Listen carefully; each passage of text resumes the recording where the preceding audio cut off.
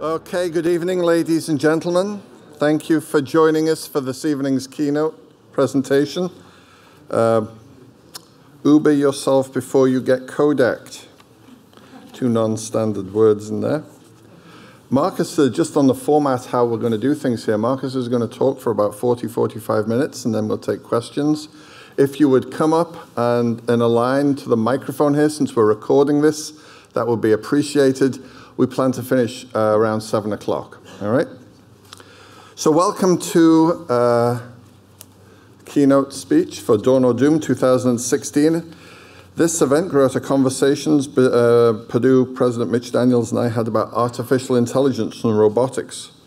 Conversations with faculty subsequently revealed that there were several rapidly emerging technologies that could have a very large effect on our lives, and we decided to launch what was always intended to be a large conversation about these technologies.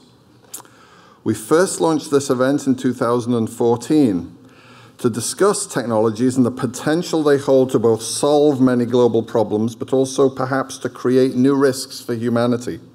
Three years in, and it appears that the only thing that has changed is that the span of topics covered by these rapidly developing technologies has only gotten bigger. It is my delight to introduce Mitch Daniels, who is the 12th president of Purdue. He brings to the job experience as a senior advisor to two U.S. presidents, eight years of service as a highly regarded governor of the state of Indiana, and now as one of the leading national voices on education. It's easy to find President Daniels promoting Purdue in a newspaper or on national TV shows. On campus, it's even easier to find him working out next to students at Purdue's gym or sharing a meal with them in the dining halls. All this despite being recently named on the list of the world's greatest 50 leaders by Fortune magazine. Please join me in welcoming President Mitch Daniels.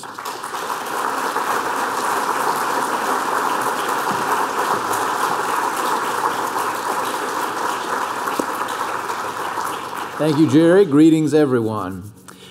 You know, uh, most of us today, uh, especially in places like Purdue and in audiences like this, uh, are uh, rather naturally come to the position that someone recently described as techno optimism, which is the uh, almost uh, uh, unconscious assumption that technology is automatically good, that science will take us straight upward, the path that the path of humanity is, is a very promising one, if only we will allow uh, the products of our, of our uh, scientific genius to blossom.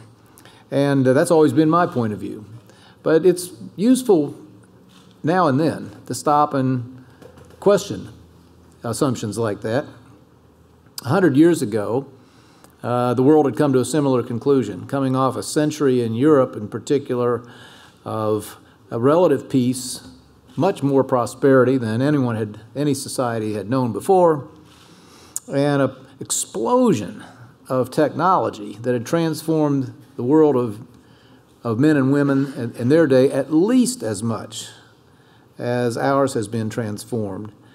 The uh, uh, ubiquitous electricity, the dawn of telecommunications, the automobile, flight, all these miracles, all had happened in two or three decades and were celebrated at the Paris Exposition of uh, at the turn of the century was an absolute festival of self-congratulation about what science and technology uh, was going to mean and how the march upward of humanity was now uh, set in stone.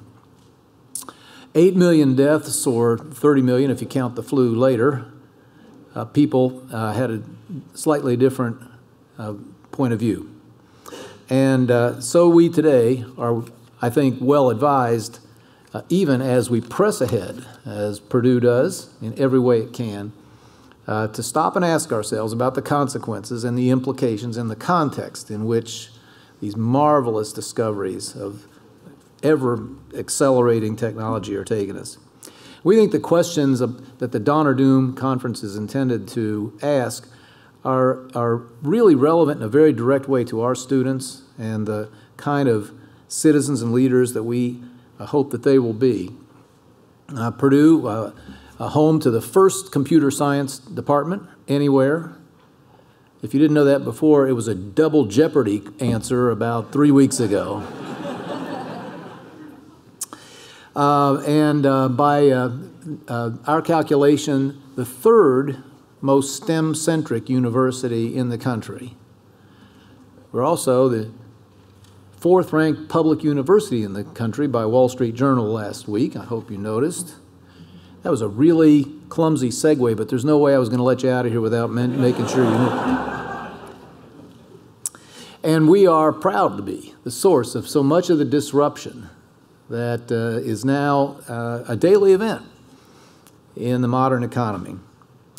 But we want our students here to leave not merely technically proficient, not merely, we hope, um, imbued with a sense of uh, a, a, a, drive for invention and entrepreneurism and creation, um, but also uh, as people uh, who see their science in context, who understand the history of science, the way in which it might change the economy, the lives of their fellow citizens, and also able to communicate in a society which has begun to divide more than we ever before between the technically literate and those who have trouble understanding what all this is about.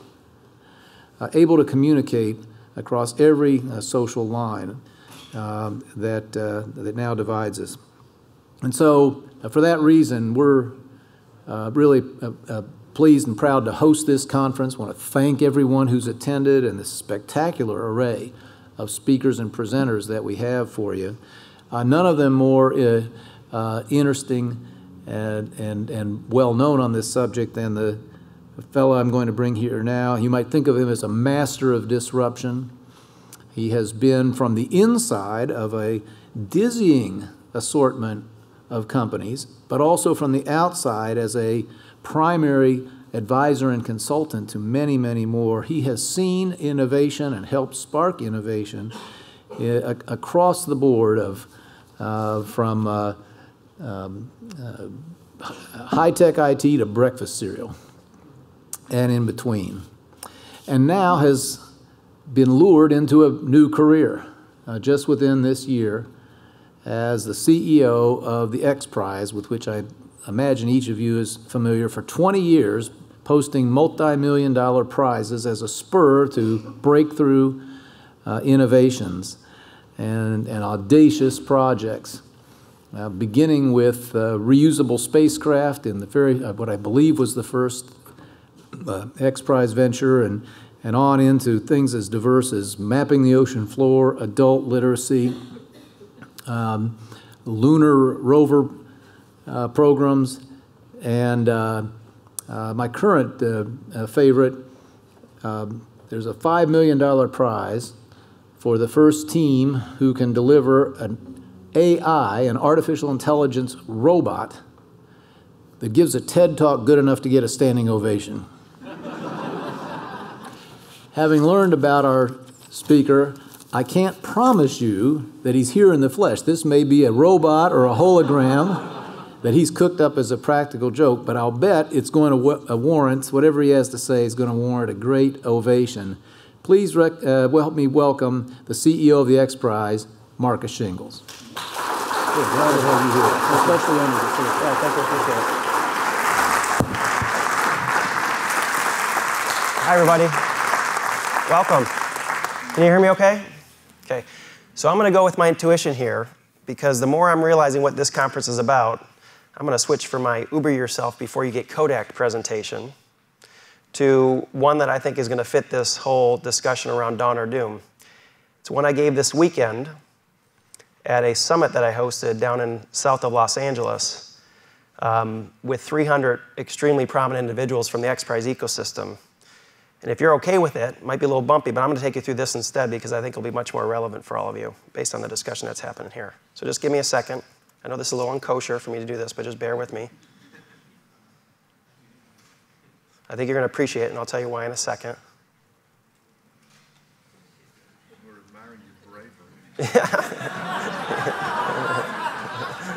Oh, yeah? well.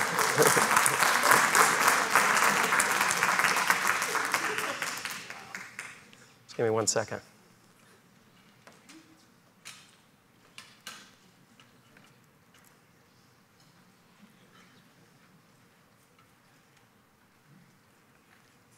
Okay, here we go.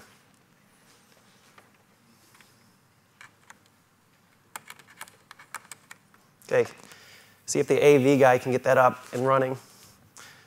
There's a, there's a saying at Singularity University where, I, where I'm on the faculty that a, AV is, AI is easy, but AV is hard. and I'll, you'll see why in a minute because we'll see if this even comes up. Okay, hi everybody. So let's let's go back. I'll go back here and we'll do this again. hi, Marcus. Yeah, that's the guy over there. so uh, by way of background, so yeah, I've, I've had kind of interesting career. I started off just up the up the road here north at the Kellogg Company in Battle Creek, Michigan. I was there for about five years. I ended up uh, in customer strategy and global IT. Uh, then I left and I went and worked at Ernst & Young, so I was in management consulting for a while, focused on CRM, sales and marketing for, for large consumer product companies. Uh, had my own business for about seven years, moved out west to California, and um, spent the last five years as a partner at Deloitte Consulting. I led a practice that was focused on disruptive innovation. And um, I got really good exposure to the ecosystem of entrepreneurialism that's going on around the world, a lot of what you all are talking about here this week. Um, to the extent where I started to get a lot of anxiety. I started to freak out about it a little bit because I realized the technology that is being democratized and put into the pockets of individuals right now is equivalent to the technology that only big government and big business had 20 years ago. And if you get out there and start looking around, I go to Tel Aviv, Berlin, Santiago, Chile, Brooklyn, Silicon Valley, Silicon Beach up in LA. If you go around and visit those ecosystems, you see it happening. There's quite a bit happening. And there's a lot of dawn and there's a lot of doom. There's a lot of optimism and there's a lot of pessimism that you can think about in terms of where this technology is headed. So I literally made a life change and career change to go work at X Prize Foundation, which is a nonprofit, which is essentially recognizing that whole lens and that landscape and using all of that innovation as a way to solve some of the world's greatest challenges. And I'll share with you exactly what that means as we go through this. Um, I'm real fortunate. The board of, of X Prize, the ecosystem we have, the, the sponsors, the benefactors, we have some of the people that are inventing the world right now. Elon Musk is sponsoring our Global Learning X Prize. He was on our board for years. Uh, Craig Venter, who sequenced the human genome, uh, is involved in our ecosystem. Dean Kamen, Ratan Tata, Larry Page. We just have an amazing group of individuals, and it's all people that are wired to think about how to skate to where the puck is going, uh, to use a Wayne Gretzky phrase. And um, what I'm going to share with you and this, you'll see why. This is the theme here, dawn and doom. I'm going to share you, with you kind of this thinking that I've been processing that I'm sure is probably why you put this conference together. Because uh, I'm sure a lot of you are opt very optimistic, but some of you are very pessimistic, and it's okay to have both kind of feelings as far as where the world's going right now. So I'm going to ask you, um, how many of you feel that something is starting to feel excitingly different in the world right now? Like there's this alignment of the stars happening like we've never seen before. And we're entering into a, an era of endless possibilities and opportunities, almost inconceivable to imagine. How many of you kind of have that optimism about you? Okay, so a pretty good number. So Peter Diamandis, who's one of my best friends and uh, was the executive chairman and founder of, Singul- of, of Singularity University and of the X Prize Foundation, he had that role for 20 years, and I just took over role as CEO of X Prize about six months ago. Did any of you read his book, Abundance? Are you familiar with it? So Peter had a very in- interesting philosophy. It's a great book. It's an optimistic book because using a lot of empirical data, not shiny objects, but empirical data, Peter builds the argument that we are headed into a world like no other time in our history that is putting things that used to be scarce into abundance. And with the pace of technology, we have the opportunity to completely change the dynamics of what the scarcity model feels like into something completely new. Uh, Peter's a pretty smart guy. He's got a, a, doctorate degree from Harvard and two degrees from MIT. Um, you, you understand a lot of his logic and thinking in his book, and it's pretty optimistic.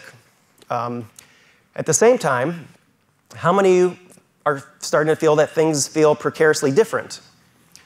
And that it feels like there's this perfect storm brewing, especially in election season, um, like we've never seen before, and we're entering in a new era of risk and threats unlike anything we've ever experienced. How many of you have a little bit of that anxiety? Okay, so now, this is why I switched presentations. This is dawn and, do, dawn and doom. So this is very much fits in this. And I actually love having this discussion. When I was in the Deloitte corporate side, I'd actually have to have more of a, a business executive discussion. Uh, this is more about life and society discussion. So I'm, I'm actually really pleased that we're going to have this dialogue. Um, one of my good friends, Marc Goodman, wrote this book last year. It was number one on the Washington Post last year. If you want to have more anxiety, go read the book Future Crimes. uh, how many of you read Future Crimes? Amazing book. Marc Goodman is a futurist for the FBI. He used to be originally in LAPD, Secret Service. Um, uh, and he's, he's a cybersecurity expert. He's one of the world renowned experts. And he wrote this book really talking about artificial intelligence, 3D printing, biotechnology, the blockchain, CRISPR. You know, all these technologies, advanced robotics, all these technologies that you're hearing about, 3D printing, and how it can be used for the, in, in crime, and how it actually is being used in crime, um, and how criminals are pretty entrepreneurial.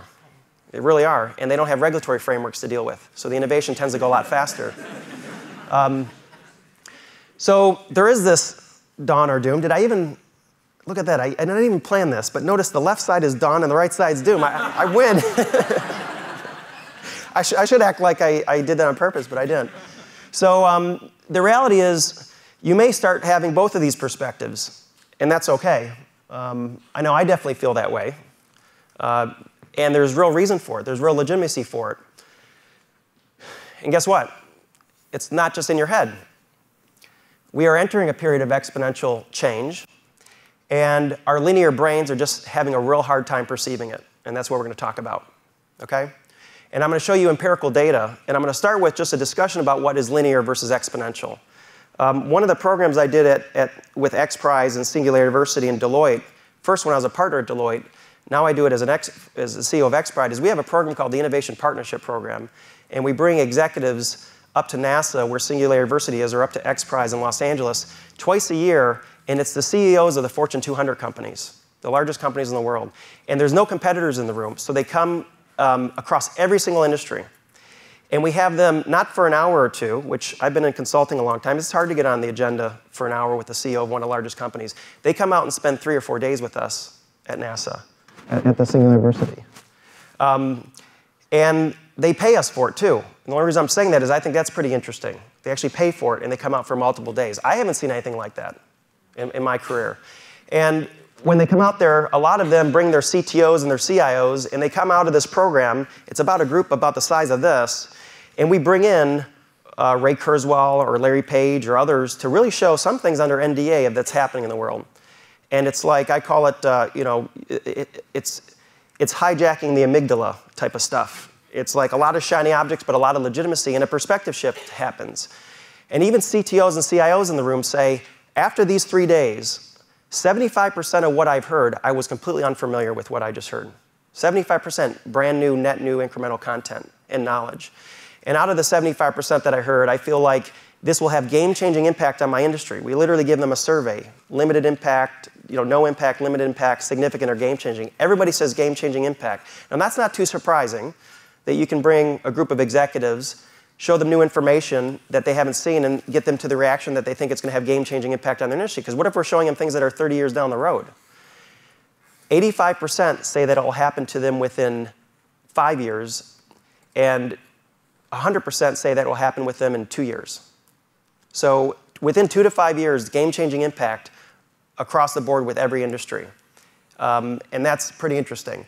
And a lot of it relates to this linear versus exponential thinking. So we all are familiar with the linear trend, one, two, three, four, five, and we all have heard about exponential trends, and most people understand what an exponential trend is. It's a simple doubling pattern.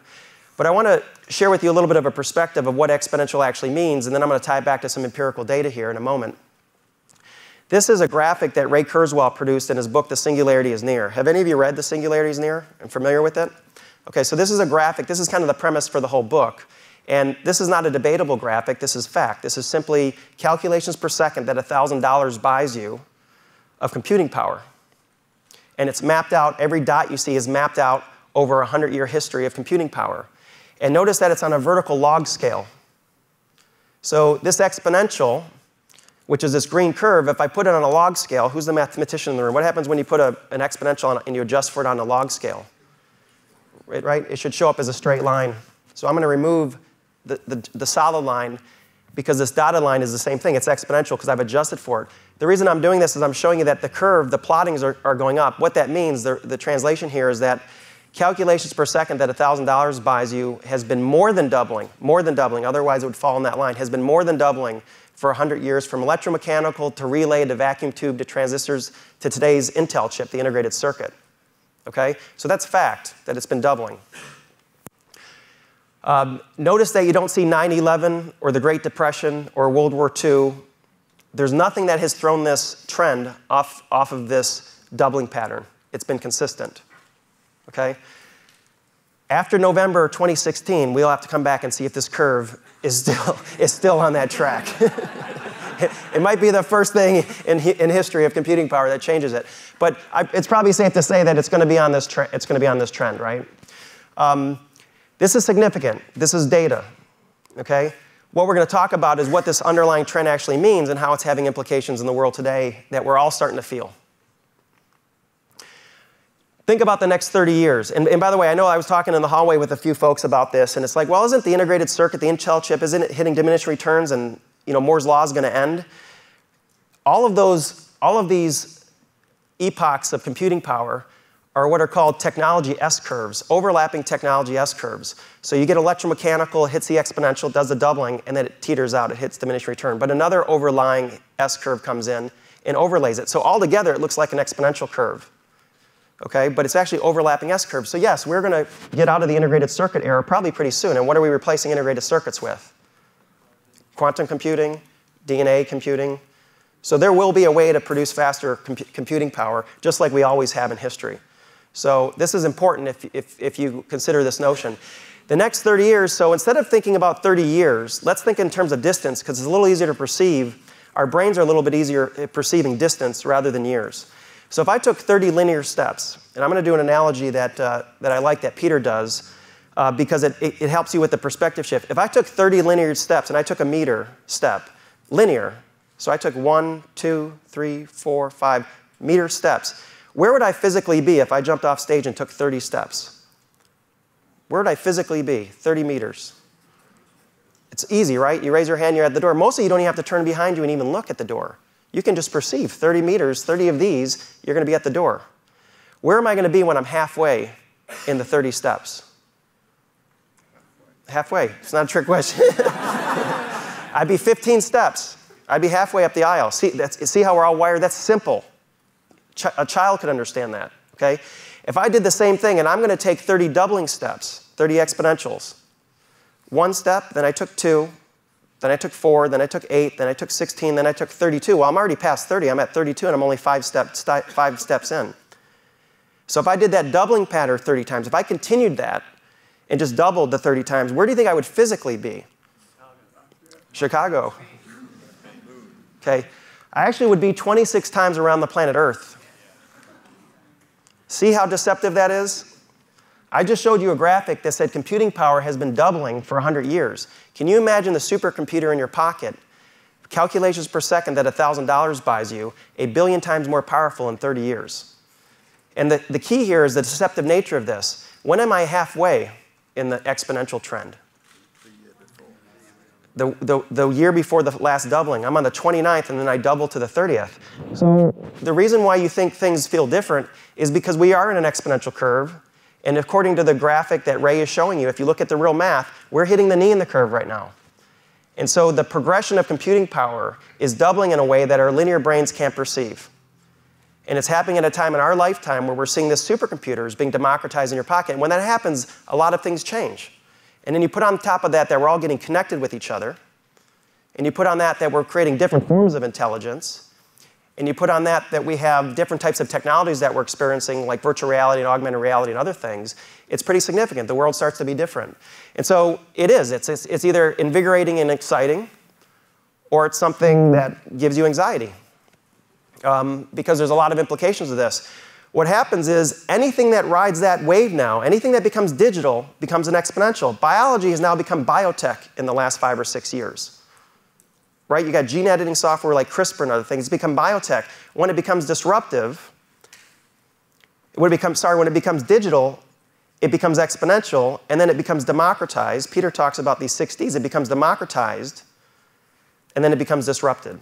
Democratized meaning the price comes down significantly or it remains constant while the power significantly goes up. That calculations per second that $1,000 buys you today is something that NASA could barely afford or governments and big business could, could only afford a couple decades ago. So we have this situation occurring. If you, if you put this into um, if you put this into certain fields like artificial intelligence, it's very clear what's happening. This is a graphic out of Ray Kurzweil's um, book as well. The computer chip that's running my laptop right now is the calculations per second of a mouse's brain that $1,000 buys you. By 2023, the calculations per second that $1,000 buy you will be, will be the same as a human's brain, the way a human brain calculates. And by 2050, it'll be all the human brains on the planet for $1,000. That's what Ray Kurzweil calls a point of singularity. So even if his math is a little bit wrong, and he's a decade behind or a decade ahead, it's still significant. And you also have to keep in mind where does Ray Kurzweil work right now? He works at Google. So he's received two gold medals of technology from two presidents. He's invented a lot of the stuff we use today. He took his very first job at Google, where Larry Page has him running basically AI, and he just wrote a book called How to Create a Brain. Right? So he has a lot of access to money and resource right now as well. And he's not the only one. Um, it's interesting to me because this discussion we're having now is the dialogue in the ecosystem I'm part of that we have all the time. This is not surprising. Sometimes I'm a little bit callous about it because I'm assuming most people understand this exponential trend. I can tell some of your looks that there's a perspective shift happening as far as the empirical data that supports this notion of change. Um, and it's pretty interesting, and we're going to explore it a little bit. So, on both sides, you have, and it was, I thought it was interesting, President, that you said the, one of the first schools to have a, the first school to have a computer science, and then you said it was just a question on double jeopardy is also interesting. The irony in that is that the best Jeopardy champion in the world is an AI called Watson, right? You saw Watson beat the two humans. This happened three and a half years ago. That's three and a half doublings ago.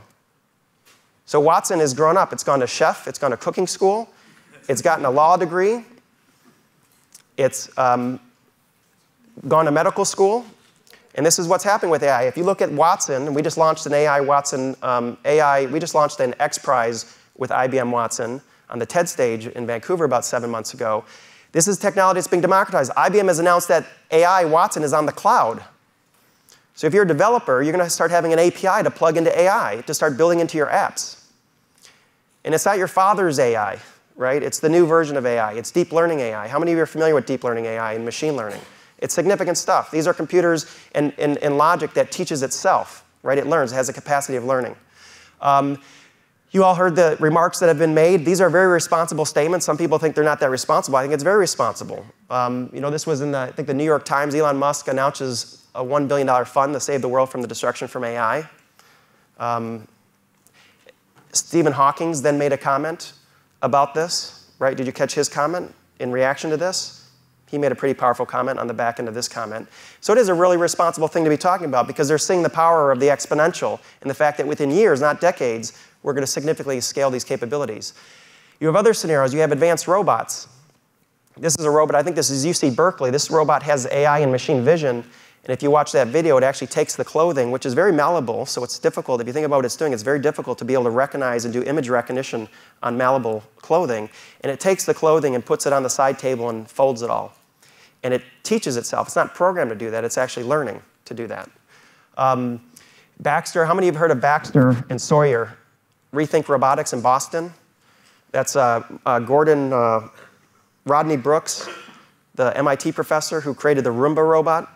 Jeff Bezos gave him a bunch of money. Now he's over, I think it was Jeff Bezos, gave him a bunch of money. Now he, he launched Boston Dynamics, Time Magazine's 2012 Invention of the Year. That robot, and I've worked a lot with it, you physically go up to it. That's the first thing. Usually robots are behind cages. They're usually dangerous. Your father's robots were dangerous. you walk up to it, and you, its arms that are 80 pounds are light as a feather because it's got sensor technology in it that was space shuttle type quality stuff you know 10 years ago that now has been democratized to where it's, it's on this robot. So you can get up to it and its arms even though they're heavy you can move it. And you just show it what to do. You don't call it and say hey i got to reprogram the robot. You physically show it what to do and then it does it repeatedly thousands of times. It doesn't take a coffee break doesn't go on vacation doesn't unionize it just does it. And that robot, now that's all pretty fascinating stuff. The, the, big kicker on this is how much that thing costs. How many of you know what the price of that thing if you want if you wanted to buy one of those? You should get some of these at the university in your engineering school. $25,000 for that robot. And when I was there, they just updated that robot. They came out with a new one based on the feedback from the market. They created, they created that's, that's Baxter, they created Sawyer. Sawyer is one arm instead of two, and it's longer and it's thinner. Why do you think the, why do you think the market research told them that what they really need is something that's thinner with a longer arm? Because in China, they're going to be put next to humans in square feet like this, and they need one arm to do this. That's why they built Sawyer.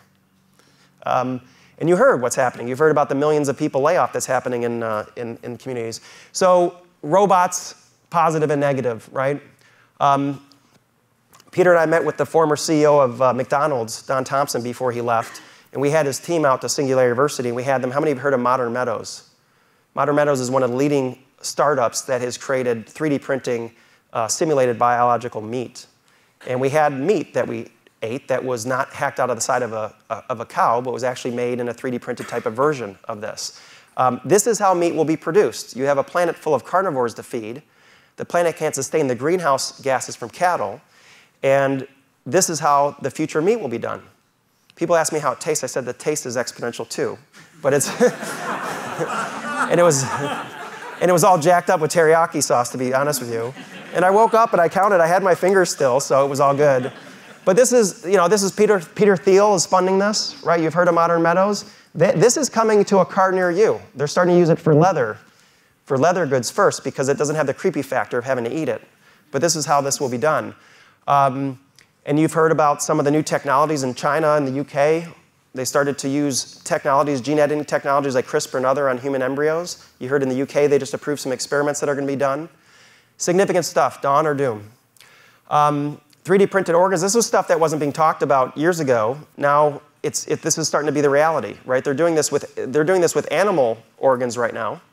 Um, certain regulations in the US at least don't permit us to do this type of work yet, but the technology is quickly getting there. Why? Because it's exponential. It's happening much quicker than you'd assume. Um, we've talked about CRISPR. How many of you heard of CRISPR, Cas9? Pretty amazing stuff. You know, Craig Venter, who was on my board at, at uh, at XPRIZE, he sequenced the first human, human genome for I think it was $2 billion. He did it back in 2007 or something. You can now go down to his institute and do it for under $1,000. They predict within a decade, maybe within five years, sequencing the human genome is going to be free. It'll probably be a mechanism that's built like into your toilet, seriously, where you get your genome sequenced and it's helping you with your health and other factors. There's some significant implications to this. If you saw Craig Venter's team present at the TED stage eight months ago, they brought out Craig Venter's genome, which he's published on the internet. He's open sourced it. They brought it all on books, and you literally were able to turn, they physically wanted to print it out. So they brought all these stacks of books at the TED conference, and then you literally turned to the page to see what the eye color was, or to see what diseases, diseases you're going to have. All of this technology. Um, the top US intelligence officials are calling gene editing potentially a weapon of mass destruction. That makes sense. The TED talk that I saw was uh, one of the experts in CRISPR technology and gene editing saying, you know, what, what if you take a carp out of, the, out of the Japanese water and you re-engineer that carp so it only has offspring that are male? You would actually decimate the population. You would, you would extinct the population that way. That's how they were thinking of fighting the mosquito, the, the, the, uh, the virus, the Zika virus, right? They were re-engineering these mosquitoes, putting them out there to basically pass on. The thing that's interesting about CRISPR and this technology, you can pass on the little engine so that it will live in the next offspring it'll continue to calculate. So you can essentially create um, a genealogy of all male species. Is this too much doom? I'm just checking. Um, I'm going to get to the good stuff, though. You're going to see why I'm, I'm optimistic. Uh, virtual, virtual reality and augmented reality. You all heard about the Oculus Rift? Okay, how many have heard of Palmer, Palmer Luckey? How many have heard of Palmer Luckey? Okay. What's that? Nazi? No, not the Nazi. I don't, I don't think he's a Nazi. He's a 19-year-old college dropout that, uh, that just invented something, so he wasn't alive back in the... In the no, he gave $700,000 to a group to put out grievous troll memes. It was revealed last week. Really? Interesting. Yeah. Did he? Okay. I don't know him. Did he really? That's interesting. So Palmer Luckey was a 19-year-old college dropout. He went on a Kickstarter and he launched a crowdfunding campaign. You all know how Kickstarter works, right? You have an idea, you put it out there, you see if people in the world want to give you money in case, in case you come up with this concept and you put this out. He raised $2.5 million in 30 days to put together this virtual reality set. But that's not the headline, is it? For those of you familiar with, this, with what happened. This was, a few, this was a few years ago now. 18 months after this college dropout created this prototype based on this Kickstarter funding that he received, Mark Zuckerberg bought this concept from him for how much? How much did Mark Zuckerberg, the CEO of Facebook, pay the college dropout for this not product? $2 billion. B is in boy. $2 billion Mark Zuckerberg gave Palmer Luckey. And that's coming out this Christmas. that's coming out this season. How many of you experienced virtual reality, augmented reality technology? Pretty powerful stuff. It's hard to even describe to people what it is until you get your hands on it. I've been under a non disclosure agreement to look at some pretty amazing stuff, and what I can tell you is we are very easily fooled people. it does not take a lot. Just with, just with sight, just with sight, virtual, you can change, you can start to trick the human brain. And when you start to add, like my friend Craig Watson up at the Void in Utah, Salt Lake City, Utah, the Void, where you get a 4D experience, so you put on the virtual reality stuff, but you also get wind and fire and smell, that's transformational. That's transformational. So that technology can be significant. That's going to be like the invention of the television. It's about to happen in the next six months. It's going to be that transformational society. It, it puts, I'll go back, put my corporate hat on a little bit. If you're in the business of building roads or stores, you're probably going to get, this is your Uber yourself before you get Kodak moment. Because in the virtual world, it's going to limit the amount of travel we do. It's going to limit the amount of physical things we do. You've heard of Magic Leap, right? All the rave about Magic Leap. Google's invested about a billion dollars into that now. Magic Leap technology out of Florida. This is transformational. It's augmented reality. So I see all of you, but I have an augmented reality as I look at you. As soon as you have that technology, physical things go away. I don't need a television. I look at the wall and I say, I want to see a 50, 50 um, foot flat screen on the wall, and I get that, that sensation that there's a 50 foot high def television on the wall. And I've tried the technology, and it is better than having a real thing there. That's how sophisticated it's getting. So think about what happens when you can digitize your real world because of augmented reality. So if you're, a lot of industries are going to be disrupted by this. 3D printing and additive manufacturing, a lot of dawn, a lot of doom in terms of that. I'm sure you guys have 3D printing and additive manufacturing here. You know, it's one of those things. People think it's linear, it's exponential. Was, it, it, had its hype curve, but if you look at what's happening with 3D printing and additive manufacturing, you start to really realize this is an exponential. It's been a technology. How long has 3D printing been around? It was invented by Chuck Hull at 3D Systems over 35 years ago. It's just been it's in, in its deceptive phase, and now it's hitting its exponential. A few others. Um, the blockchain, how many of you have heard of the blockchain? Okay, that's about as significant as a disruption as CRISPR is. The blockchain, which powers Bitcoin, most of us get a little bit obsessed with Bitcoin. The blockchain is the underlying general digital general ledger that the computer scientist world created that then the, the commercial side came in and said, let's use that for currency first. But what the blockchain is doing is it's creating a trust protocol that allows any two individuals, any two entities, that normally have to bring in a third party to be the trust person between you and that person, it eliminates that third party because the technology becomes a trust protocol, right? That's what the blockchain is doing. So, President, if you and I wanted to do something, and I trust you, you probably don't trust me much, but I trust you. So, you're, so you would get a notary, or you get a bank, or you get a title company, or you get an escrow account, or you get a voting booth, you get something in between us that acts as, acts as a trust protocol. Well, the reason why the blockchain is becoming that trust protocol, that's why it's going to disrupt the banking industry. And I've worked with the CEOs of largest banks in the world on this. That's why many of them are in a panic mode right now. It's also an opportunity because it's going to completely change it. But what happens is when you say, I'm going to put into the blockchain, basically a general ledger, I'm going to credit this in exchange for that, and I go on and I say, I'm going to take that in exchange for this, and we agree on it, just like, and then we call over the lawyer. We don't have to call over the lawyer because millions and millions of computers around the world look at what we just did, and those millions of computers can, cannot collaborate or talk to each other. And in a split second, they all validate exactly what we did, and it gets registered on the blockchain, and therefore it's fact. So the integrity of them, all, that's why you see Bitcoin, it's a, it's a, Bitcoin's a currency, so there's always fluctuations with the psychology of currency. But people aren't worried about the the, the blockchain that's supporting that currency, at least not yet, because it hasn't been hacked. And trust me, a lot of people are trying. So the blockchain is a significant technology. There's a lot of things you can do with that. Um, so sometimes the eminence of the perfect storm, the doom side of this, starts to weigh us down a little bit, right? It feels a little bit overwhelming. Um, but at X Prize, and me personally, I'm, I'm actually very boldly optimistic, and I'm going to explain to you why we should be optimistic and what the opportunity is okay? Not only does the data show we're headed towards abundance, you know, if you talk about this democratization technology, that's where Peter gets. Peter's, all, Peter's very optimistic on the fact that all fa- some other factors aside, that if you let the technology curve continue, we will hit an area of abundance abundance of clean water because the technology to clean clean water is there abundance of you know being able to solve things like climate change or diseases because AI and other forces will be able to, to cure things and, and, solve things much faster than human intelligence can. So if you read that notion and you, and you talk about that, yes, there is a path that will get us to abundance. There's no doubt about it. We were with Sebastian Thrun last week, or two weeks ago at the Innovation Partnership Program. Sebastian Thrun, who launched Udacity at Stanford University, he was a professor at Stanford who did the open core software. Now he, now he does Udacity. He ran Google X for a while. He, he said, you know, we went from an agricultural economy to industrial economy. We're currently, we're currently in an office economy. And we're about to transition out of the office economy. When things become abundant, we're going to go into a creative economy if we get there.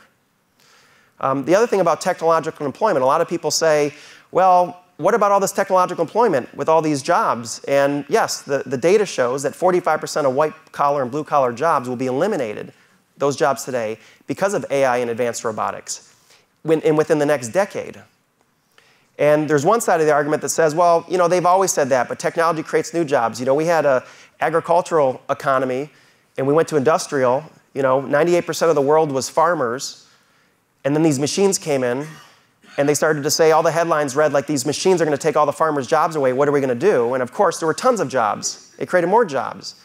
But that was the farmer's granddaughter or grandson that became the industrialist. It wasn't the farmer. My daughter is 24. I've already retooled her three times to make her employable. Seriously, I've had to re- if, she, if, I was not her father, she would have not been employed. Three times I had to retool her to get her where she is today as an environmental science uh, major out of, out of college. It really required that. So it's not, so the job piece, yes, if you have that type of educational system that can be agile and adaptable, but we're acutely aware, and this is why we're optimistic, and this is very important. I'm going to share with you guys something because this is, this is where there's some legitimate hope, okay?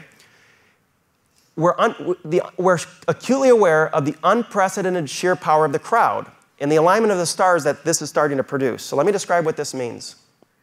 The crowd is a world of bold innovators, visionaries walking around with supercomputers in their pockets. All that exponential technology I just described in their pockets. So, one of those stars that's getting aligned is that we have this modern day contemporary entrepreneur, one that we've never seen before, who's also socially minded, who's thinking about the world and the changes in the world.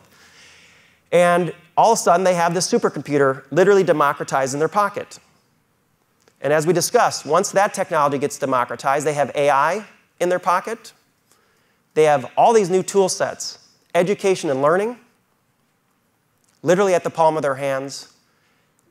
New types of labs and testing, literally getting democratized. At XPRIZE, we're working on the tricorder XPRIZE. I was just with Paul Jacobs, the chairman of, of Qualcomm, because we're in the final phase of the tricorder XPRIZE. This weekend, we showed six finalist teams that all held their tricorders. Remember Star Trek?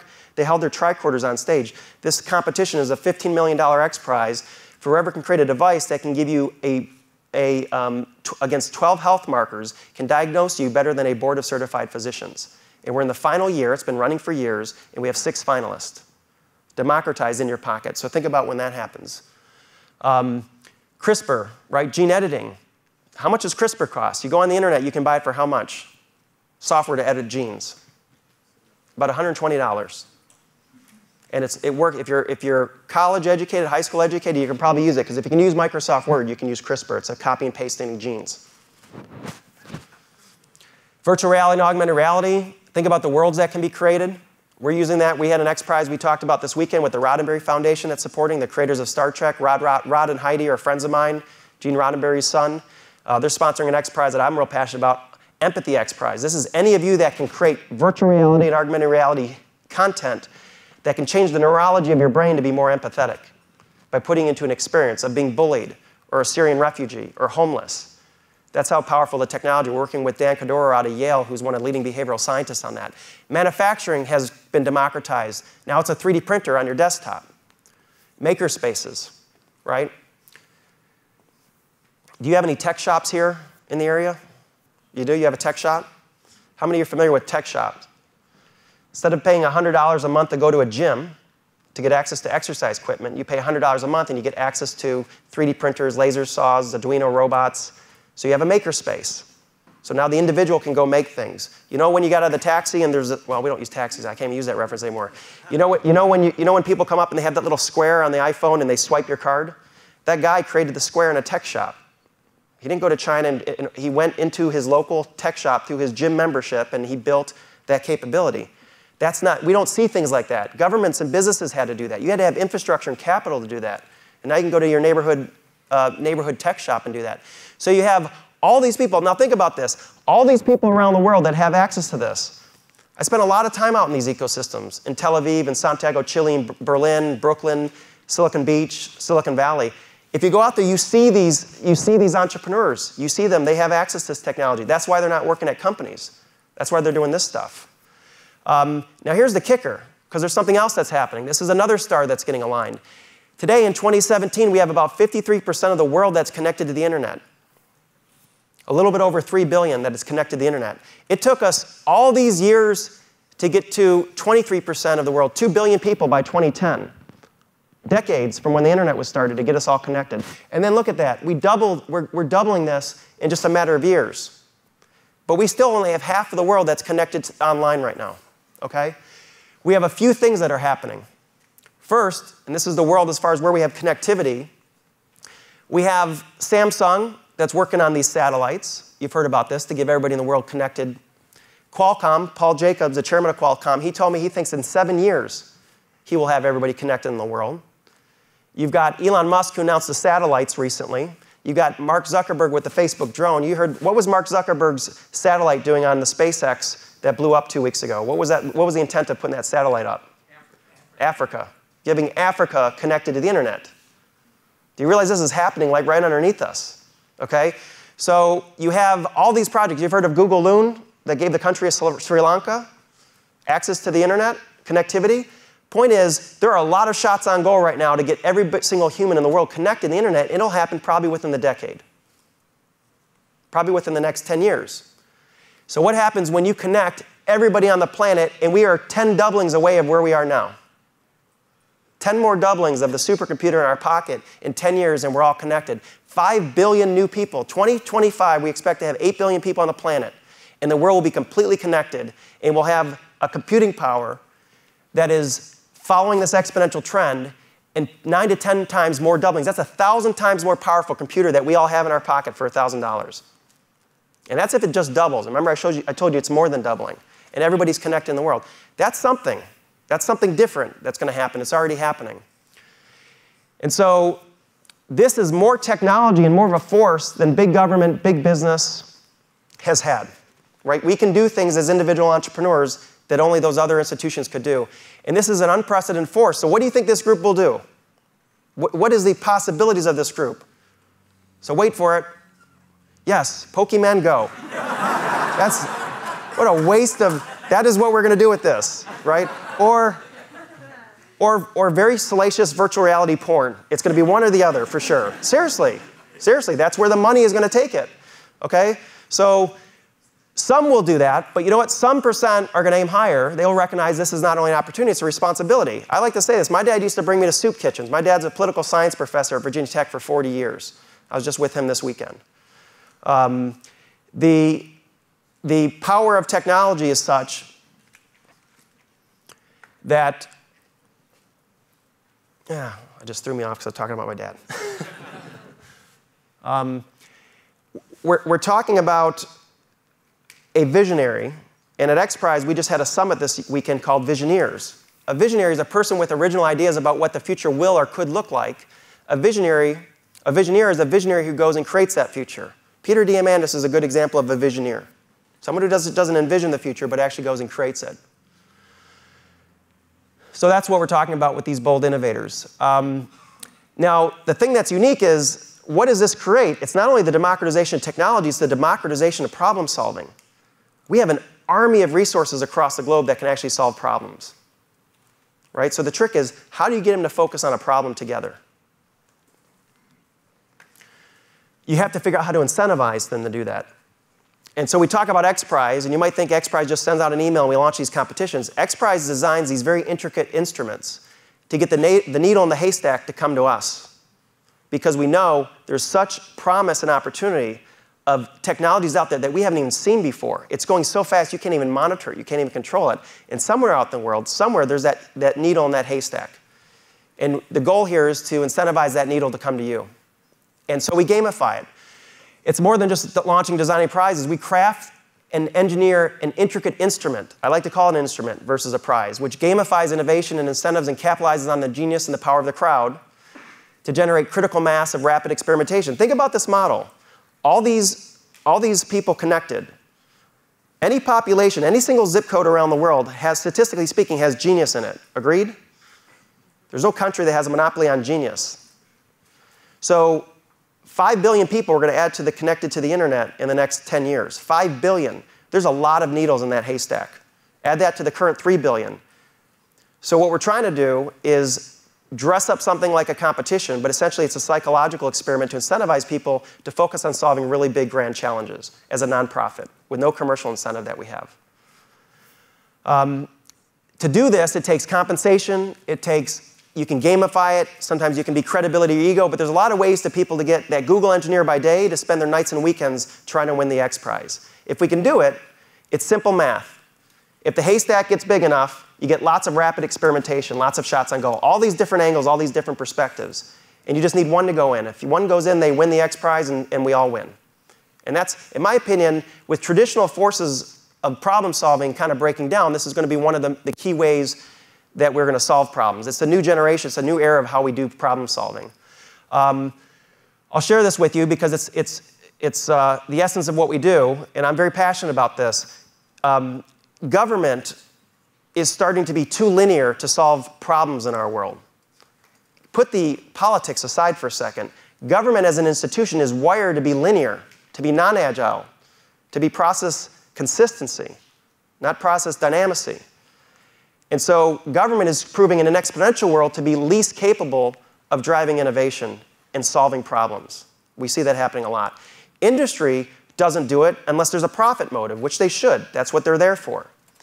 So when we find a void between government not being capable and industry not having the profit motive, that is the only time at XPRIZE we take it on. Not because XPRIZE can solve it, we just think there's some genius in the crowd that can solve it, and we're going to figure out a way to gamify innovation to get them to come to us. That's the model. Okay? Um, so we are technology innovation optimists, optimists neat to have and nice to have and neat to have. We do some pretty cool stuff at XPRIZE, but there's really a purpose. I'm going to share with this purpose, and then we'll do some Q&A. Um, the real risk that's facing our global society, and this is really appropriate for this dawn or doom conversation, the real risk and our challenge for our ability to capitalize on exponential technology to achieve this world of abundance that Peter talks about, the real risk is the exponential pace of change in a linearly wired society. I guarantee most of you, from the very first discussions when I started to show you the, the linear and exponential trend, that's probably the first thought that came to your mind was, I'm worried about how we're going to change as a society because I tell you firsthand, as a management consultant, as a partner at Deloitte, I got to work with CEOs of large companies. That's a dictatorship controlling change. And the only reason they hired a firm like ours is because they're not very, because its change is not easy. And that's in a dictatorship model. That's with a CEO of a company saying, we are going to change, and they still have to hire consultants and change management experts and stuff to change. So, what I'm concerned about is society's ability to change at this pace. And I think we have to start thinking about it. I actually make my decision on who I'm going to vote for this election just on that, just on being able to navigate that bridge to abundance. Um, and that's what we're focused on. Our massive transformative purpose at XPRIZE is to build this bridge to abundance, to think about what are the things that what are the things that society needs that can promise abundance, that we can accelerate the timeline by getting it out to the crowd and bringing that innovation a decade or two forward. If Peter didn't do the original Ansari X Prize, Richard Branson would have never bought the intellectual property rights, and that would have never launched the private space industry. So the competition to launch that, to get a private individual to create a spaceship for the first time, actually launched the industry and probably accelerated the industry either a decade or two. He showed that there was a there there. And so what we're doing at X Prize, we do some really audacious types of contests, competitions. I'll share a few of them with you as we go on, as we have a little Q&A.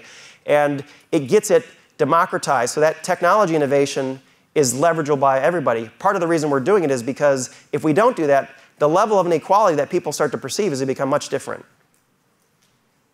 You know, Peter, Peter started a company called Human Longevity Inc. with Craig Venter. Have you heard about HLI, his company HLI, down in San Diego? It's, uh, uh, they're using big data analytics, deep learning AI, and gene sequ- genome sequencing data to the 100, 100 years old becomes the new 60. you know, because they're starting to re-edit genes. And they're starting to figure out the science and personalized medicine and all that that comes with that.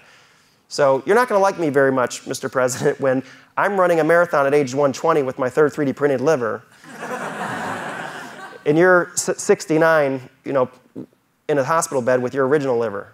That's a different level of inequality the world hasn't seen before, much more than income inequality. That's, that's one of the things I think is of, I'm not into distribution of wealth, I'm into the distribution of innovation. The distribution of innovation. That's a much better place to be. Um, and that's, uh, that's what I wanted to talk to you guys about. So I decided, was it the right presentation to share? A little bit better?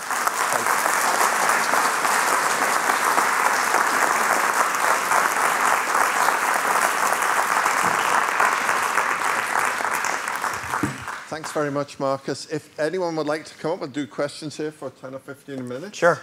Uh, if your head doesn't hurt, then I think you weren't listening. If you do have some questions, please, if you just come and stand up here, we'll go for a little while like this. All right?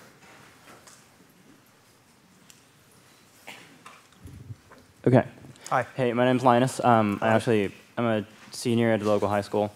Um, so, and I'm really into uh, education and technology. So, you talked a lot about the potential of uh, five, six billion people coming on online in the next uh, several years and the exponential growth that that's going to bring.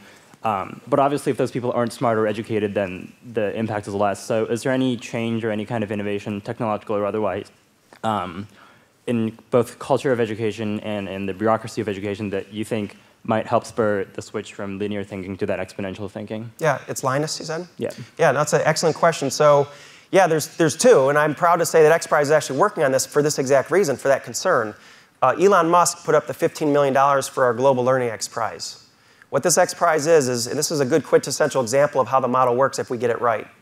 Um, we've identified 4,000 illiterate children in Tanzania working with the government of Tanzania in UNESCO, the education group of the United Nations. Okay? Over the last two years, we've put electrical power into extremely remote villages in Africa, in Tanzania, the eastern, eastern block of Africa. The reason we're focused here, remember I said if government doesn't do it and industry doesn't do it? This is a perfect example. This whole population will, will not get educated. Government is not going to build schools, and they're not going to train teachers to teach those, those millions of billions of, you know, millions or billions of people that aren't getting access to education. Or if they do, it'll take decades. So government's not going to do it. And nobody's going to make software to teach people that don't have any, any income. These are people in remote villages that don't have any income. Some of them haven't even seen reading and writing. That's a good example of a market failure, right? So we create an X Prize based on that market failure. So the last couple years, electrical power to all these villages, 4,000 illiterate children. Google gave us 8,000 tablets, two per child, Android tablets. 700 teams got interested in the competition. We announced it, 700 teams. That's 700 rapid experiments that you stir up. We got 110 teams left. Next year, we're going to get it down to five teams. Those five teams, if you're one of the finalists in those five teams, your software is going to go on the tablet in a village in Tanzania where they have now have electrical power. And they will have it for 18 months. That group of illiterate children, 400 of them. After 18 months, whichever team reached third grade proficiency in reading, writing, and basic math wins $15 million. That's the X Prize. So the goal is, the notion is there that technology, with the progression, with the exponential curve, can actually be used to teach in ways that there was market failures. Here's the thing the technology is being developed to teach in Swahili and in English. And as soon as there's one, we're going to open source the code so the entrepreneur and the industry can come in and actually build on top of it. And so you see how we're trying to promote change with a, by gamifying innovation? And if you look at the teams that are actually competing, there's a group of artists from Amsterdam that are using art as a way to teach. We have a bunch of musicians from another country that are trying to think about how to use music to educate. We have a bunch of gamers from Bangladesh that are trying to gamify education. And that's the beauty of it. You get all these different shots on goal. And hopefully, out of the 700 teams that registered and the 110 that are in there now, five of them will be very unique concepts. And that's how we're going to do it. We're also doing another X Prize with Barbara Bush and the adult, it's called the Adult Literacy X Prize. We're doing it with the LAUSD, the Los Angeles School District, Adult School District, Philadelphia, and I think Boston are the three school districts where it's the same thing like the global learning, but instead it's teaching adults instead. Yeah. So do you think it's uh, more of a market lack of supply or a lack of demand issue than any sort of mindset change that might spur more exponential thinking? In terms of, say that again, though? Uh, so do you think it's uh, the solution is to create more demand rather than to have some kind of a paradigm shift in how we think about education and, and mindset or culture? I do, I do a program with the Los Angeles School District. I, I, I literally called up a principal in Los Angeles School District in, in Compton, like literally in the, in the city of LA. And it was kind of a young principal. I, I read a couple things that he was doing. I thought he was pretty innovative. I went down and we created a program called Exponential Entrepreneur Program which essentially is just completely teaching, it's teaching all this stuff. It's teaching, it's teaching young people in high school how to be their own exponential entrepreneur. You don't have to go to a bank to get a loan, you're going to crowdfund. Well, what's that? Well, let me tell you what that is. You're not going to go hire employees, you're going to crowdsource employees. I can crowdsource a data scientist right now. I can crowdsource. My daughter, when she graduated from college in environmental science, she started to do an interview process. Old school, linear. Go submit your resume and go wait for a callback and go do an interview. Instead, she went on the Google, she did environmental science oceans crowdsourcing. And guess what? Dozens of legitimate places that she could go at that moment, and someone in the world was looking to pay her for 30, 40 minutes a week, two weeks of her time for what was in her head. And she started to make money right online through the crowdsource model. That is the economy we're going to go to. Everything's going to be crowdsourced. You're going to crowdsource that. You know why? Because you don't. How many people think that the smartest people in the world work for you? no, and I have Peter Diamandis on my team, and I still will say I do not have, this, I do not have a monopoly on the smartest people in the world. They don't work for you. They're somewhere out there in the 6 billion, 7 billion people on the planet, right? So as they all get connected, if you don't figure out a strategy to harness the crowd, you're going to lose. You're going to lose that race. So every, every company I've been working with, including government, but all the, big all the big business industries, are all trying to figure out how do you start using the crowd. That means you're employable for anyone in the world too. You'll get, you'll get some of those kids that are going to learn to read and write in Africa actually working on your next project potentially. Thanks, Linus. Hi. Hi. Um, how would you go about maybe presenting these types of concepts to a younger crowd, such as middle schoolers? Yeah, well, I think one thing is get maker spaces there. A lot of middle schools are getting into maker spaces where you start getting them access to 3D printers, 3D food printers. I introduced JP, the CEO of Hershey, to literally had the meeting that set them up with, uh, with 3D systems where they launched the Cocoa printer. Some of that stuff is really interesting. I will tell you this, my kids have never been so excited to learn. Pretty, pretty sexy stuff, virtual reality, augmented reality, the blockchain, AI, 3D printing, advanced robotics, biotech. I mean, it's science fiction stuff that's making science reality. So if you get it right and you can energize people, it's actually pretty interesting to learn. I've noticed that with middle school kids and high school kids. I just think right now, I was consulting for one of the, I was actually advising one of the top MBA programs in the country. And we were talking about, I was talking about blockchain and CRISPR, and they're starting to write it down and starting to Google it. I'm like, what's going on here? This is an MBA course. This is an MBA school. They should know this stuff. Like, I'm really disappointed with the pace. Singularity University, which exists now, which was founded by Ray and Peter, exists because everyone else is, is a void in that, in that type of, of education. You know, I know you guys are doing a lot of amazing things here. You guys are starting to build a really good brand for yourselves around that. Hopefully schools start to make this transition and teach us. The class I do at the LAUSD is these, the high school kids, three weeks on AI, three weeks on robotics, three weeks on blockchain, three weeks on virtual reality, three weeks on crowdsourcing, three weeks on crowdfunding, three weeks on the, on, uh, the sharing economy. And they're learning how to be the, the, the modern day entrepreneur, just like Uber and Airbnb and those guys have done. So I think with middle school kids, I think it's just getting them exposed early. It's, you know, it's pretty fun stuff to learn about. That's probably why you're here, right? It's pretty interesting stuff. Yeah. Yeah. Thanks. Thank you. Hi. Hi. Uh, my name is Pratik, and your comment about the inequality in the distribution of innovation really interested me. Mm-hmm. So I was reading about uh, technology leapfrogging in Africa, like they skipped the landline yeah. network and went to cell phones directly. Now they're talking about skipping road networks and going to drones directly. But Absolutely. as you said, uh, society is hardwired to think linearly. So if there's not any acceptance, there's going to be limited impact. So what efforts are being made to make sure that uh, society also thinks in an exponential manner and there's more acceptance? I think, well, right now it's starting with education. It's having discussions like this. You know, if, the goal here is that some of you in the room have a perspective shift if you haven't already had it.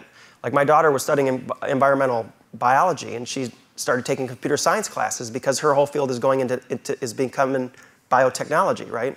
So part of the thing is just getting people more aware with these exponential trends and then, you know, you see that in certain communities like in Tel Aviv. That's the, the whole community is wired this way. Everything they think about is AI, 3D printing, advanced, and they, they understand the tool set of the modern day entrepreneur. So a lot of it's, I think, education um, and getting out there and educating. It's really just starting to happen in the last few years. Um, you know, I'm concerned about the educational system because it was already broken even if we weren't going into exponential times. The fact that it's getting kind of into this whole new paradigm is even more discerning to me, quite frankly. Um, there, there's a lot of implications with technological unemployment. I think that, you know, people ask me about technological unemployment. I have a theory about what I think will happen because if you just think through the implications or the ramifications of, of computers taking, taking jobs, the type of jobs that humans have today, if all of us are unemployed in five years, which may very well be the case, unless you have a degree from Purdue, then you won't. if all, no, seriously, if all of us start to get unemployed, some of the white collar and blue collar jobs to start to take our jobs. You just heard Uber announce that they just bought autonomous driving truck drivers, right? The, autonomous driving truck fleets. They just made an investment about two weeks ago. One of, the, one of the biggest industries in the United States is truck driving. Okay, that is absolutely going to go away, right? Autonomous driving. So as jobs that we traditionally relied on go away, I think what will happen is in our community, I'll have an app and it'll start putting pin drops around me and it'll say, hey, you need new shoes? What was your name? Pratik. Pratik has made, he's a shoemaker in your neighborhood. He's a, he's modern day shoe cobbler. You have a 3D printer, you're making shoes, and I want personalized, customized shoes, and I'd rather buy it from my neighbor than go out to a big department store and buy it. And I see that you're a chef in my neighborhood, and you're an electrician in my neighborhood. And you know, you'll, um, uh, you're an artist and you made creative content that I think I would like to use. And so you'll start to buy not only locally, physically things, but digital things you can start buying from anyone in the world.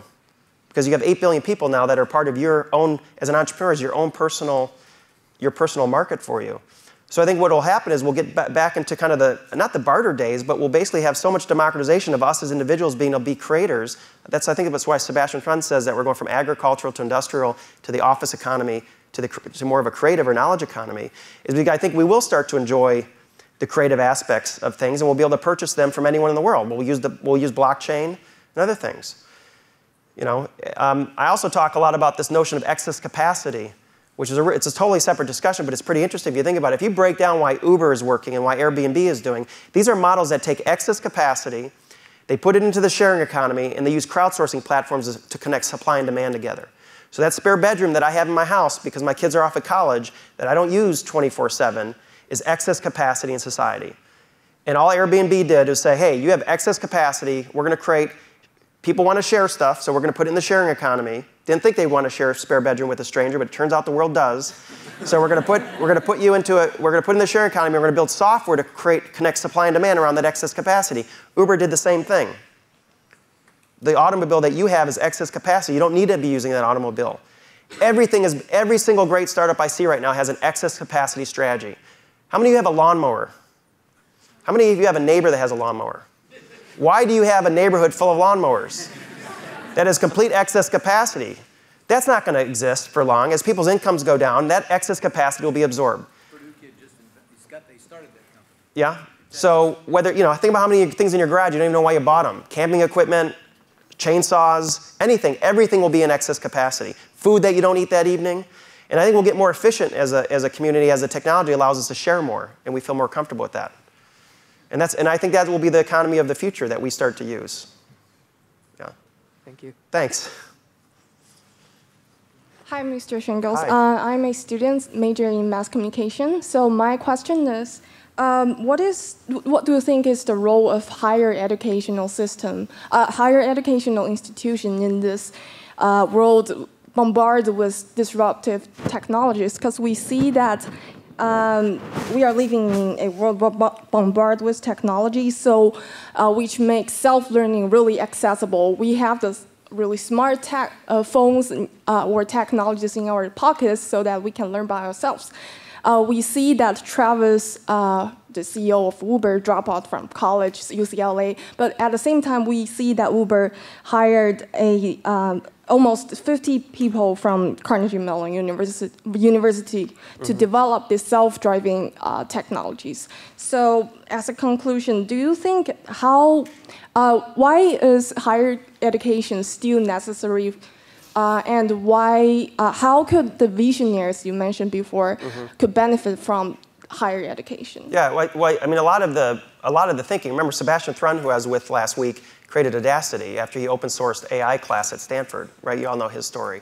Mm-hmm. When he got over 100,000 people that signed up for his open AI class, and now he launched Udacity. I mean, a lot of the thinking is that there will be only a very small handful of very amazing universities that actually exist in another decade or two, 20 or 30 years, maybe even less. Because the virtual, in virtual reality and augmented reality is really going to expedite this. Unless you've tried virtual reality and augmented reality, you, don't even, you probably think I'm, what, I, what I'm saying sounds crazy.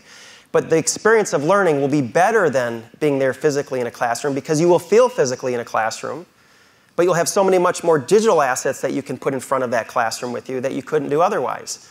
And so virtual reality and augmented reality, which is going to hit the scene this year, you'll hear about it just as much as you heard about 3D printing a few years ago, I think is going to completely change the paradigm shift. The other thing you got to remember is crowdsourcing. When my daughter goes on a site like Kaggle, which is a data scientist crowdsourcing site, or Tongal, which is a creative, a creative crowdsourcing site, right? There's, there's thousands of crowdsourcing sites right now. You don't have to show them your resume.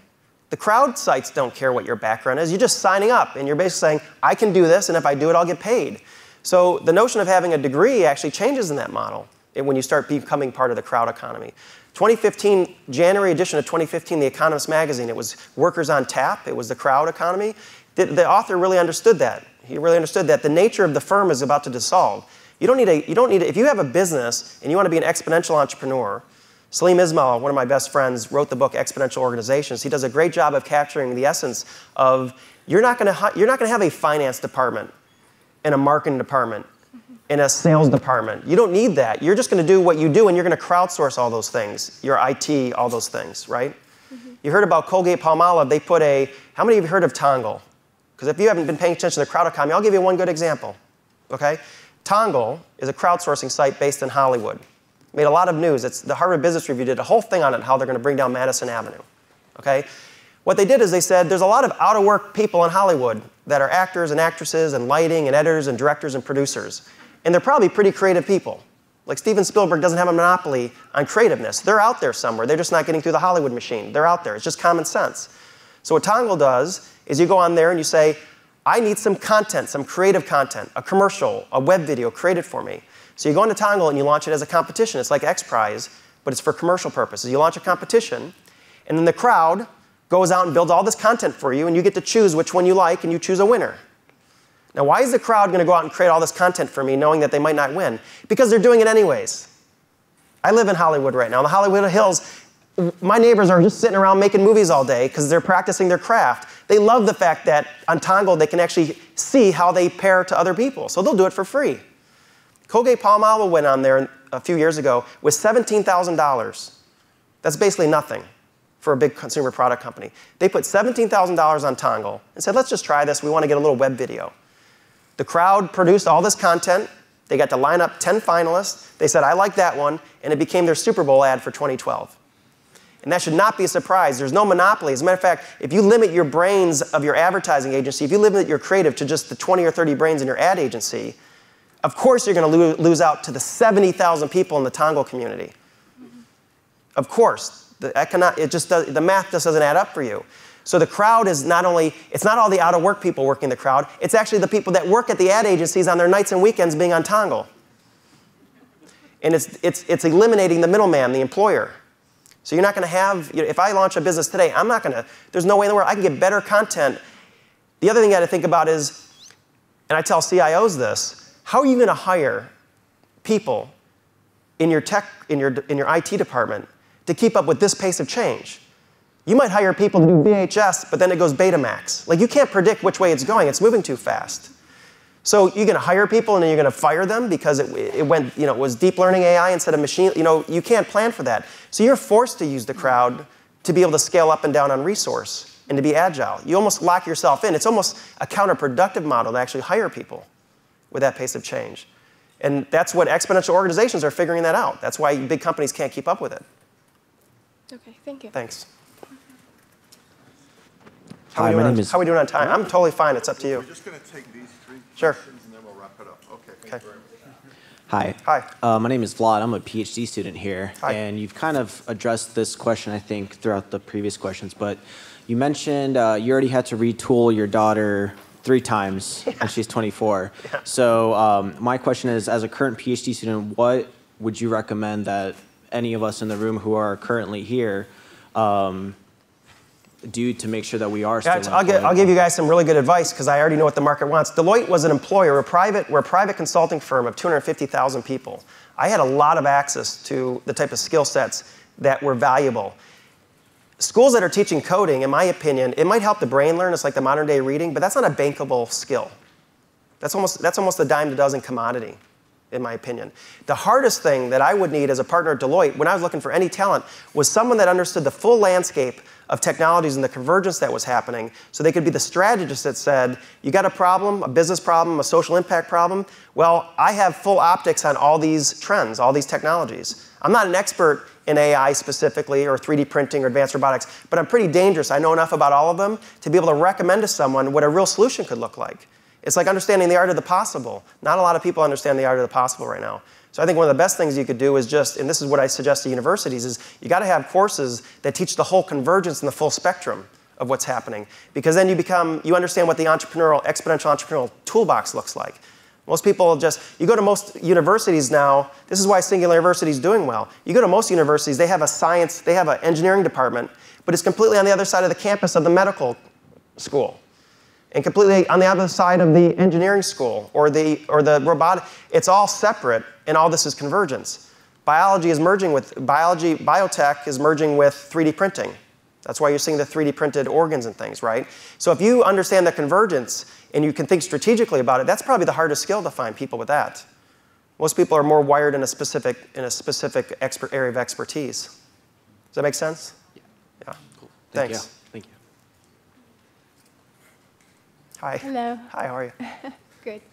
My name is Lauren Olson, and I'm an artist. I'm not part of the rest of this community particularly. Barbara Marx Hubbard recently introduced her idea of the Office of the Future to the United Nations. Mm-hmm. And I'm simply wondering if X Prize has any interest in this project. I'd love to. I was just, I actually was fortunate enough to be at the UN last Monday to hear President Obama in person. Fabulous. I was sitting up close. It was, it was remarkable. It was his last address to the UN. And I'm working with, um, I'm working with essentially the chief of staff and the U.S. Secretary General right now, who I was with this weekend at the summit I just had, because we're looking at the UN Sustainable Development Goals, the SDGs, Yes. and trying to line up the X prizes to around the SDGs. But the SDGs are really the old paradigm. They're not the new paradigm. And the Office of the Future intends to be the new paradigm and needs to network networks. Why, will you call me and talk to me about it? I'd love to. I'm going to give you my card right now. I'd love to talk to you about it. Thank you. Thank you. Anyone who's got enough balls to come up here and say that the UN's SDGs is the old paradigm, his, I got to talk to.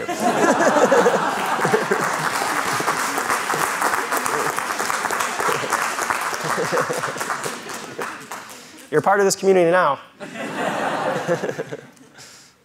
Hi, uh, my name is Shailendra, and uh, your comment about uh, innovation distribution versus wealth distribution. But when I think about money, of course, people with wealth can afford innovation better, you know, uh, comparatively. Now, let's say, for example, uh, about 3D printed hearts or kidneys, liver, whatever. And uh, you know, in terms of affordability, technology would make it cheaper, but cheaper doesn't always mean affordable. So how do you think, you know, does XPRIZE have a vision as to how to make it affordable for the common man?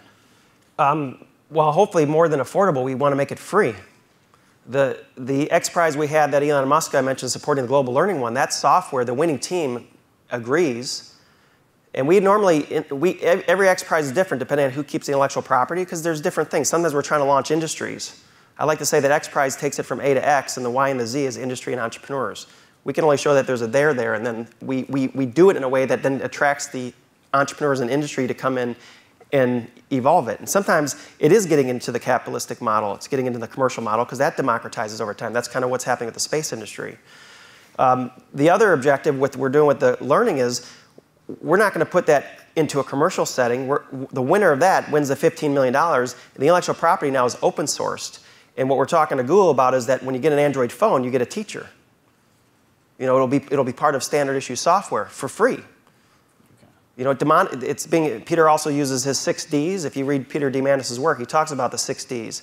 That once it becomes digital, it becomes uh, democratized, demonetized, becomes free, becomes disruptive, and then there's two other, I two other Ds I don't remember. yeah. Is that, does that answer your question, or do you have a follow-up? Uh, yeah, just one though. So this is X Prize. X Prize is making it free, but what about you know? Uh, not everyone's going to make it free, right?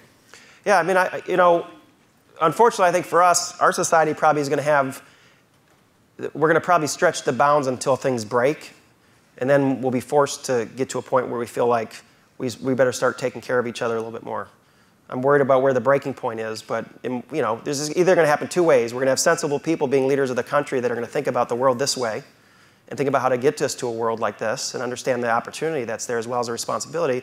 Or we're going to break things and then, you know, realize, oops, we probably shouldn't do that again, and then we'll probably figure out a better way to use the technology for abundance. I mean, that's what a, that's a great concept with Dawn or Doom. Because again, the way, and I'm not sharing any political views, but the way I'm voting on any election is people that are wired to think about this, what we just talked about. That's all that matters to me. I don't care about economic policies, I don't, because none of that matters. Things are changing so quickly. All that, all that stuff is linear stuff. I want someone who's thinking exponential, or at least can create a world that doesn't come off the rails as things get become exponential. Gotcha. You know what I mean? Yep. Yeah. Thank Thanks. You.